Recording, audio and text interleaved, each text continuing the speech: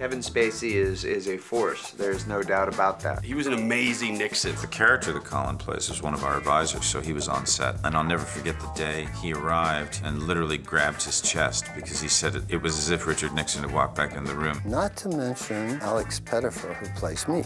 He has so much love for Elvis. All the insight that he had to give me was just through the stories he would tell. I like that. That's good. The chance to work with Michael Shannon, who is just a consummate actor who became uh, so Elvis like